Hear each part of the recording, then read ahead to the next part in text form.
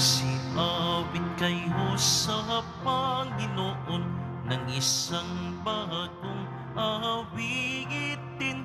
Magsiawit kayo sa Panginoon buong sandaigdigan. Awitan ang Panginoon at purihin ang kaniyang ngalan ipahayag ang kanyang pagliligtas sa lahat ng panahon. Magsiawit kayo sa Panginoon ng isang bagong awigitin. Magsiawit kayo sa Panginoon buong sandaigdigan. Sa ngalan ng Ama at ng Anak at ng Espiritu Santo, Amen. sumainyo ang Panginoon. At sumayo rin. Aminin natin ang ating mga kasalanan upang tayo ay maging marapat gumanap sa banal na pagdiriwang. Panginoong Jesus, binigyan mo kami ng bagong buhay. Panginoon, kaawaan mo kami. Panginoon, kaawaan mo kami. Panginoong Jesus, pinapatawad mo ang aming mga kasalanan. Kristo, kaawaan mo kami. Kristo, kaawaan mo kami. Panginoong Jesus, binabahagi mo sa amin ang iyong katawan at dugo sa Eucharistia.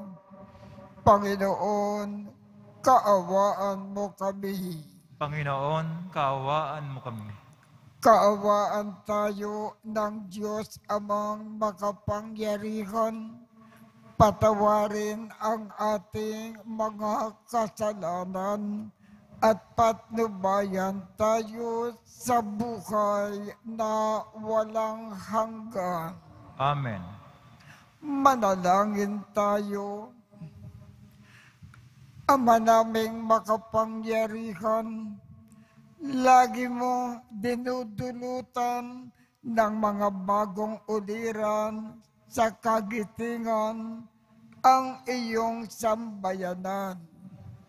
Ipagkaloob mo sa diwa ng obispo na si Alfonso Maria na nagmamalasakit sa kapwa, aming matapat na masunod ang kanyang mga yapak upang makamtan namin sa langit ang tinamo niyang gantimpala sa pamamagitan ni Yesu Kristo kasama ng Espiritu Santo magpasawalang hanggan.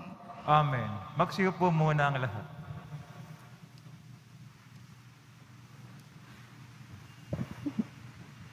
Pagbasa mula sa aklat ni Propeta Jeremias.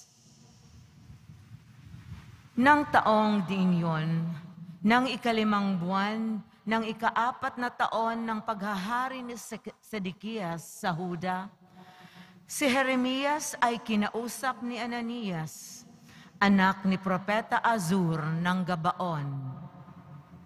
Sila nooy nasa patio ng templo sa harapan ng mga saserdote at ng mga tao, ang sabi ni Ananias, Ito ang sabi ng Panginoon, ang Diyos ng Israel.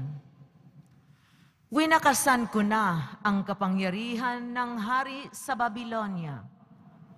Sa loob ng dalawang taon, ay ibabalik ko sa templong ito ang lahat ng kagamitan na kinuha ni Haring Nabucodonosor at dinala sa Babylonia.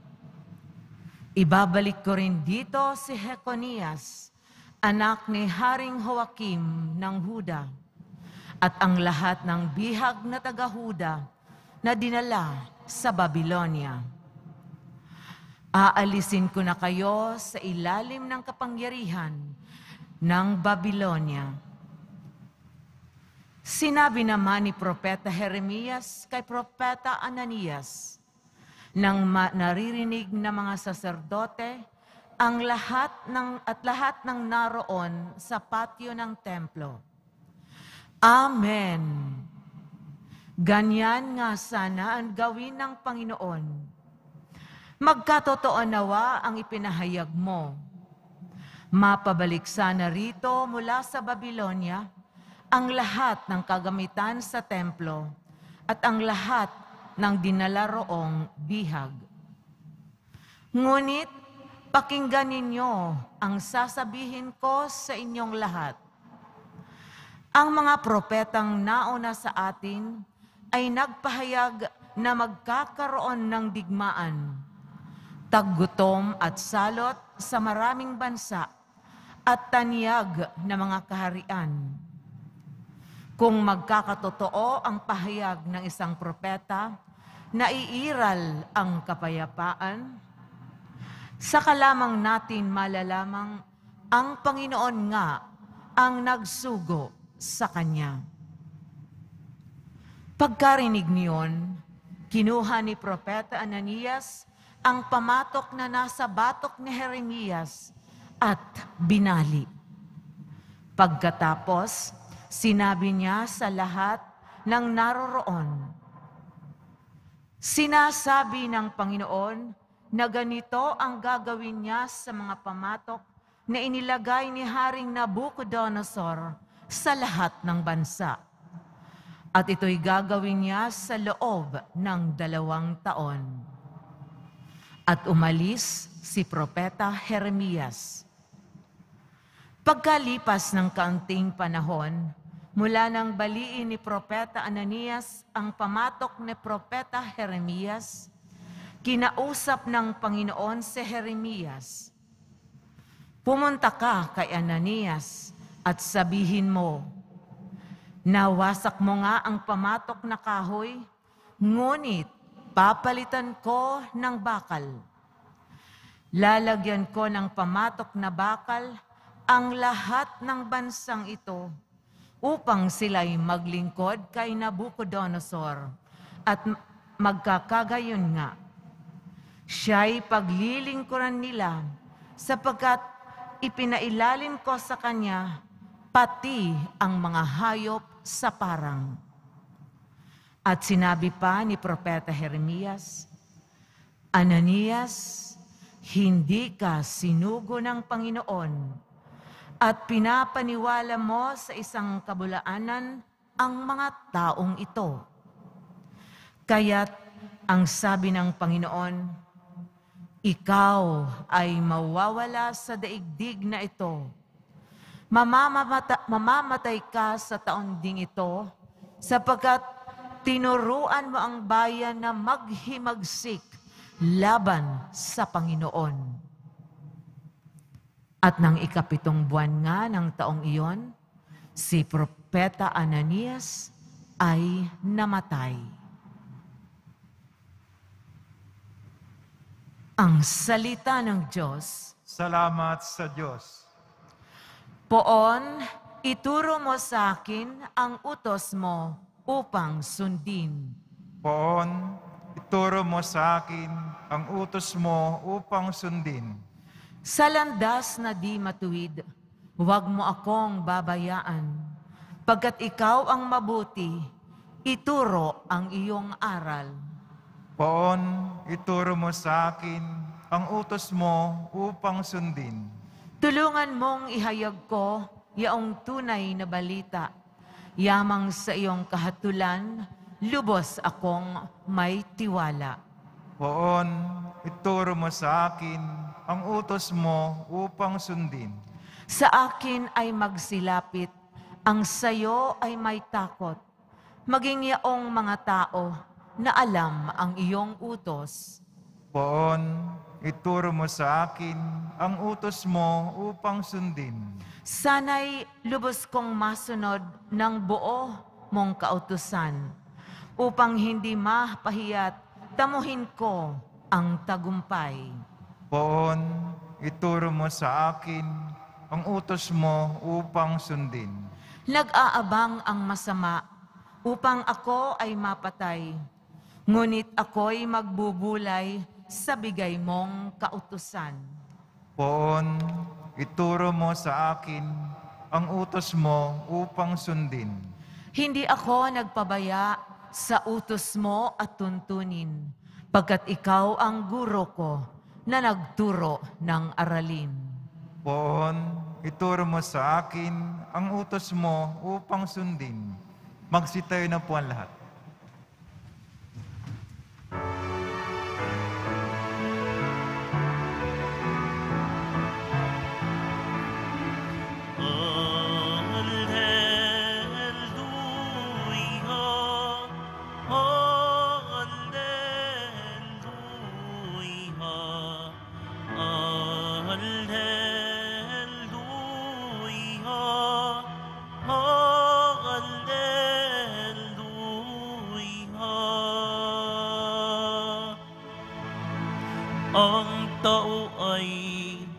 Nabubuhay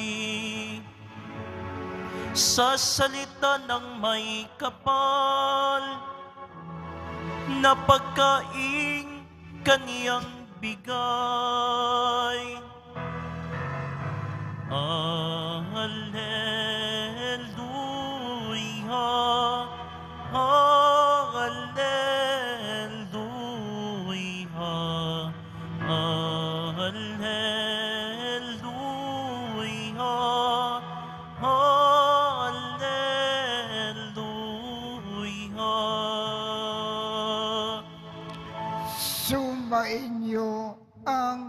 Panginoon. At sumayo rin. Ang mabuting balita ng Panginoon ayon kay San Mateo. Papuri sa iyo, Panginoon. Noong panakong iyon, nang marinig ni Jesus ang pagkamatay ni Juan Bautista, siya ay sumakay sa isang bangka at nag-iisang pumunta sa isang ilang na lugar. Nang mabalitaan naman iyon ng mga tao, sila ay lumabas ng bayan at lakad na sumunod sa kanya. Paglunsad ni Jesus sa dalampasigan, nakita niya ang napakaraming taong yaon. Nakabag siya sa kanila at pinagaling niya ang mga may sakit na dala nila. Nang dapit hapon na, ay lumapit sa kanya ang mga alagad. Sinabi nila, ilang ang puok na ito at malapit nang lumubog ang araw. Papuntakin na po ninyo sa mga nayon ang mga tao upang makabili ng kanilang makakain. Hindi na sila kailangang umalis pa, sabi ni Jesus. Kayo ang magbibigay sa kanila ng makakain. Sumagot sila, lilima po ang tinapay at dadalawa ang isda natin. Dalhin ninyo rito, sabi ng Panginoon. Pinaupo niya sa damukan ang mga tao. Kinuha ang limang tinapay at dalawang isda. Tumingala siya sa langit at nagpasalamat sa Diyos. Pinagpira-piraso niya ang mga tinapay at iniutot sa mga alagad na ipamigay iyon sa mga tao. Kumain silang lahat at nabusog. Tinipon ng mga alagad ang lumabis at sila ay nakapuno ng labindalawang bakol ng pira-pirasong tinapay. May limang libong lalaki ang kumain, bukod pa sa mga babae at mga bata. Ang mabuting balita ng Panginoon. Pinupuri ka namin, Panginoong Heso Kristo. Magsiyo po munang lahat. Ano ba lagi ang ginagawa ng ating Panginoon? Lagi po siyang naglilingkod sa mga tao. Ang mga may sakit, pinagagaling niya. At dito sa ating ebanghelyo, nang makita niyang gutom na gutom ang mga tao, pinakain niyang silang lahat at binusog.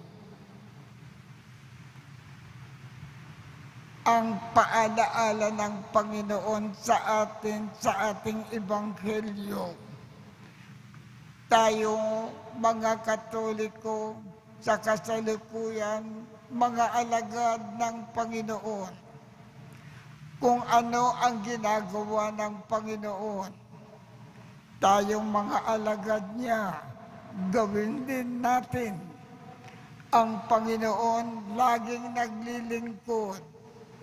Gawin din natin na at sa ating buhay ang laging naglilingkod sa mga tao sa iba't ibang paraan.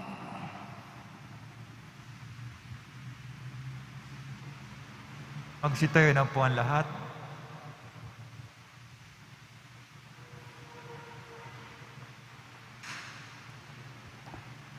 Minamahal kong mga kapatid, natitipon tulad ng napakaraming tao sa Ebanghelyo na nagugutom sa salita ng Diyos.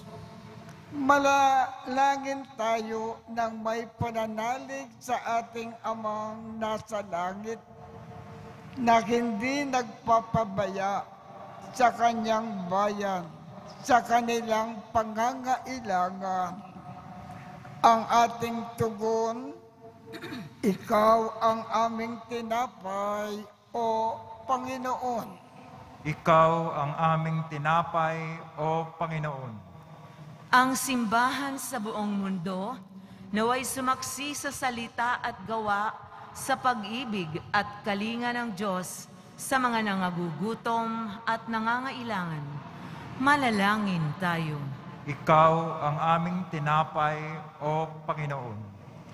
Ang mga leader ng mga bansa na may pinanghahawakang matatayog na posisyon at malawak na kapangyarihan, naway tumulong na maipamahagi ang kayamanan ng daigdig upang sa gayon wala ni isang bansa ang malagay sa panganib sa pagkakagutom. Manalangin tayo. Ikaw ang aming tinapay, O Panginoon. Bilang isang komunidad, tayo naway maging mga kapwa sa ba- nababad sa pananalangin at maging laging handa sa pagbibigay ng ating panahon at karunungan sa pagtulong sa mga naghahanap ng kahulugan sa buhay. Manalangin tayo. Ikaw ang aming tinapay, O Panginoon. Ang mga may sakit at mga nagdurusa, naway makaranas na manatiling pag-ibig sa Diyos. Manalangin tayo. Ikaw ang aming tinapay, O Panginoon. Ang mga tapat na yumao, naway masiyahan ng walang maliw sa walang hanggang hapag sa kalangitan. Manalangin tayo. Ikaw ang aming tinapay, O Panginoon. Ama naming nasa langit, bigyang pansin kaming nangangailangan ng iyong habag.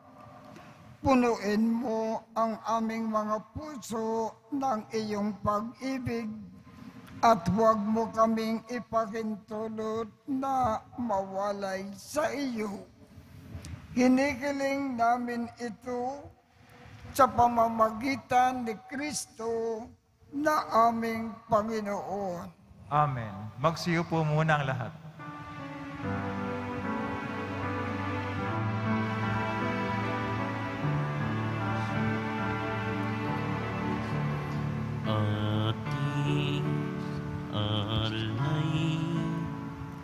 Na alag-an tinapay mula sa ating ani sa lupain ng Diyos nating mahal na siya na rin nagdulot na tayo'y may maihain sa pang alay namin inyo pong tanggapin at inyong pabanalin at kung mamarapatin inyo pong itong gawin katawan at Jesus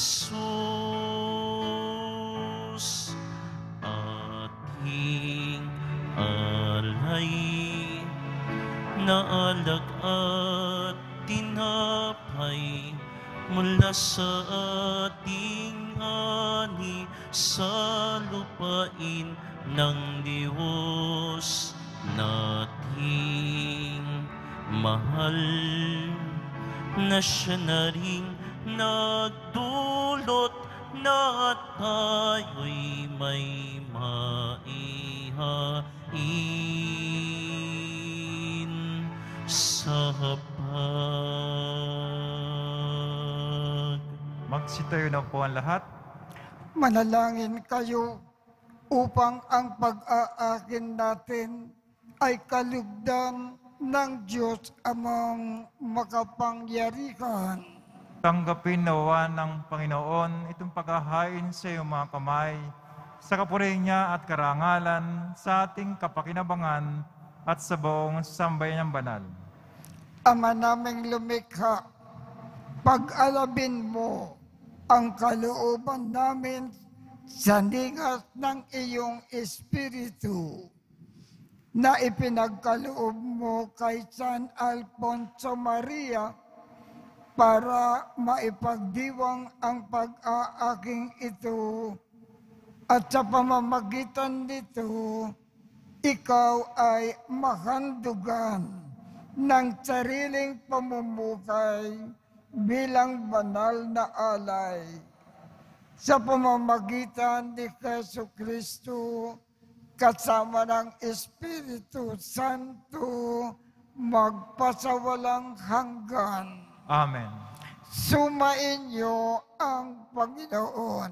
At sumayo rin.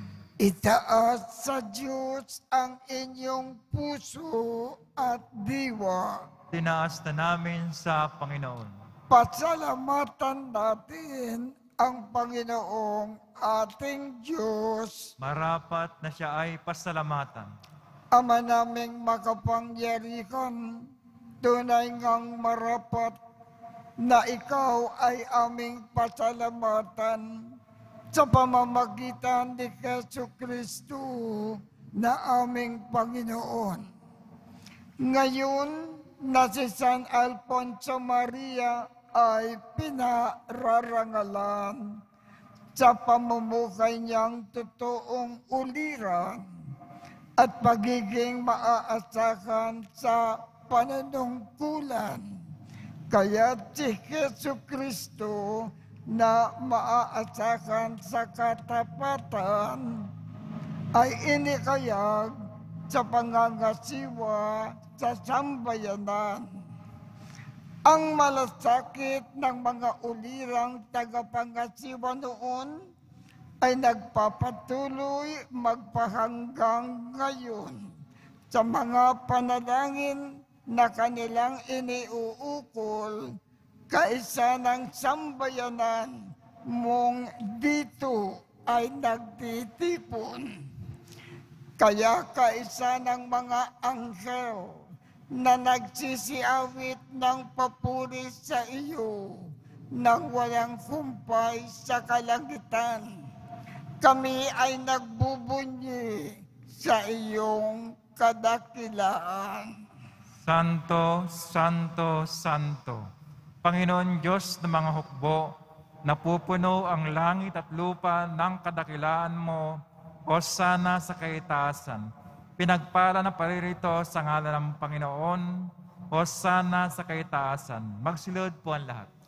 Ama naming banal, ikaw ang bukal ng tanang kabanalan.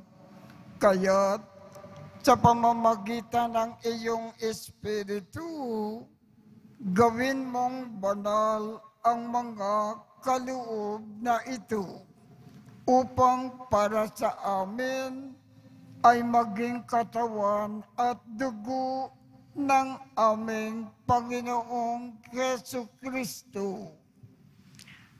Bago niya pinagtiis ang kusang loob na maging handog, hinawakan niya ang tinapay, pinasalamatan kanya, pinaghati-hati niya iyon, iniabot sa kanyang mga alagad at sinabi, Tanggapin ninyong lakat ito at kanin. Ito ang aking katawan na ikakandog para sa inyo.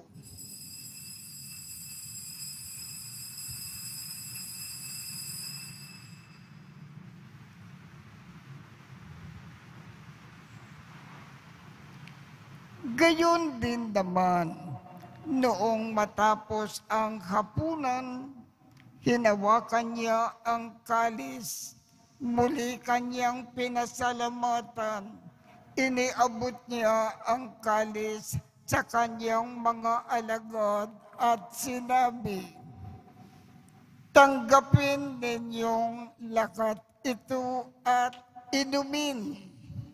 Ito ang kalis ng aking dugo, ng bago at walang hanggang tipan. Ang aking dugo na ibubukos para sa inyo at para sa lahat sa ikapagpapatawad ng mga kasalanan. Gawin ninyo ito sa pag-alaala sa akin.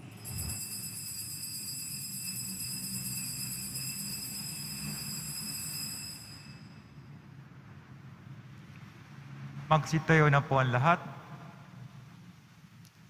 Ipagbunyi natin ang misteryo ng pananampalataya.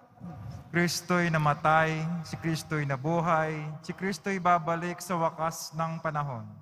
Ama, ginagawa namin ngayon ang pag-aalala sa pagkamatay at muling pagkabuhay ng iyong anak. Kaya iniaalay namin sa iyo ang tinapay na nagbibigay buhay at ang kalis na nagkakaloob ng kaligtasan. Kami ay nagpapasalamat dahil kami ay iyong minarapat na tumayo sa harap mo para maglingkod sa iyo. Isinasamo namin kaming magsasalo-salo sa katawan at dugo ni Kristo ay mabuklod sa pagkakaisa sa pamamagitan ng Espiritu Santo. Ama, lingapin mo ang iyong simbakang laganap sa buong daigdig. Puspusin mo kami sa pag-ibig kaisa ni Francisco, aming Papa, Jose aming obispo at ng tanang kaparian. Alalakanin mo rin ang mga kapatid naming nakimlay nang may pag-asa na sila ay muling mabubuhay. Gayon din ang lakat ng mga pumanaw. Kaawaan mo sila at patuloyin sa iyong kaliwanagan. Kaawaan mo at pagindapatin kaming lakat na makasalo sa iyong buhay na walang wakas. Kaisa ng makal na Birhen Maria na ina ng Diyos, ng kabiyak ng puso niyang si San Jose, kaisa ng mga apostol, at ng lakat ng mga banal na namukay dito sa daigdig ng kalugod-lugod sa iyo. Maipagdiwang nawa namin ang pagpupuri sa ikararangal mo sa pamamagitan ng iyong anak na aming Panginoong Keso Kristo. Sa pamamagitan ni Kristo, kasama niya at sa Kanya. Ang lahat ng parangal at papuri ay sa iyo, Diyos amang makapangyarihan, kasama ng Espiritu Santo, magpasawalang hanggan. Amen. Sa tagubilin ng mga nakagagaling na utos at turo ni Jesus na Panginoon natin at Diyos, ipakayag natin ng lakas loob. Ama namin, sumasalangit ka, sambakin ang ngalan mo, mapasa amin ang kakariyan mo, sundin ang loob mo dito sa lupa para nang sa langit. Bigyan mo kami ngayon ng aming kakanin sa araw-araw. At patawarin mo kami sa aming mga sala para ng pagpapatawad namin sa mga nagkakasala sa amin. At huwag mo kaming ipahintulot sa tukso at iadya mo kami sa lahat ng masama. Hinikiling namin, Ama, iadya mo kami sa lahat ng masama. Pagkalooban kami ng kapayapaan sa araw-araw. Iligtas sa kasalanan at ilayo sa lakat ng kapakamakan. Samantalang aming pinananabikan ang dakilang araw ng pagpapakayag ng tagapagligtas namin si Heso Kristo. Sapagkat iyo ang kaharian at ang kapangyarihan, ang kapurihan magpakailanman. Amen. Panginoong Keso Kristo, sinabi mo sa iyong mga apostol, kapayapaan ang iniiwan ko sa inyo. Ang aking kapayapaan ang ibinibigay ko sa inyo. Tungkayan mo ang aming pananampalataya at huwag ang aming mga pagkakasala. Pagkalooban mo kami ng kapayapaan at pagkakaisa ayon sa iyong kalooban kasama ng Espiritu Santo magpasawalang hanggan Amen. ang kapayapaan ng Panginoon ay laging sumainyo. At sumayo rin. Magbigayan tayo ng kapayapaan sa isa't isa.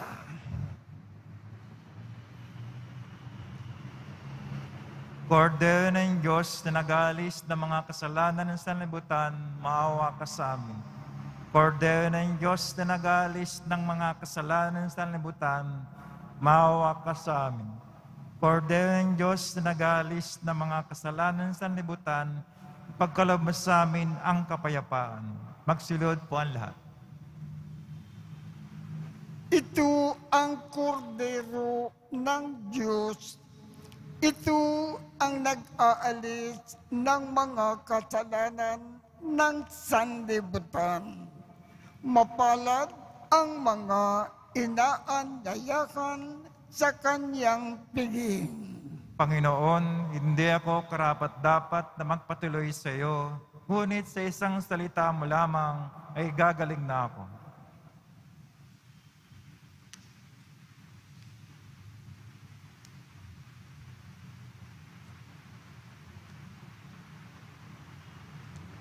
Ang katawan ni Kristo.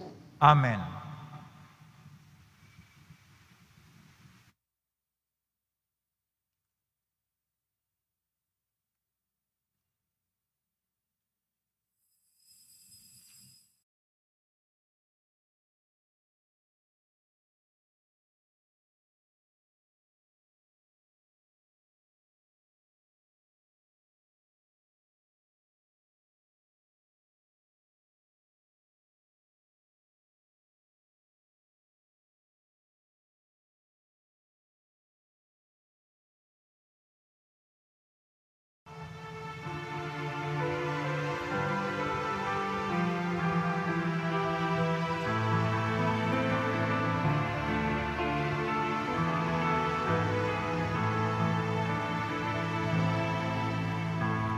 Halik kayong mga napapagal, kayong nauuhaw sa mundo. Dali, kumait uminom, kayo nang hain ni Yesu Kristo. Jesus tinapay mula sa langit, bihayang alay ng Diyos Ama. Pagkaing nagbibigay buhay, kunin at pagsaluhan. Halik kayong mga napapaghal, kayong nauuhaw sa mundo. Dali, kumait uminom, kayo nang hain ni Heso Kristo.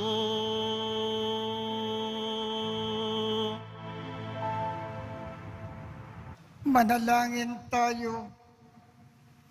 Ama naming mapagmahal, binigyan mo ng pagkakataon si San Alfonso Maria para matapat na gumanap at maglakad ng pag-aakin ng pakikinabang.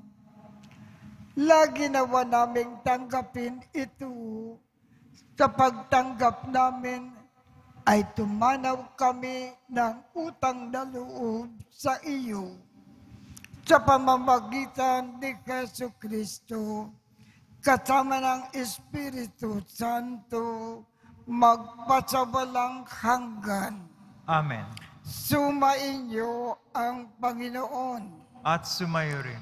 at pagpalain kayong lahat ng makapangyarihang Diyos, Ama, Anak, at Espiritu Santo. Amen. Tapos na po ang misa. Humayo tayong mapayapa. Salamat sa Diyos.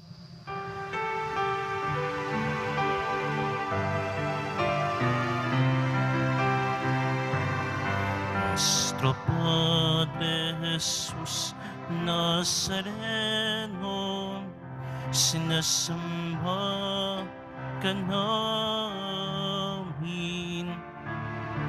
Pinipinto ka namin. Aral mo ang aming buhay at kaligtasan. Nuestro Padre Jesus Nazareno, iligtas mo kami sa kasalanan.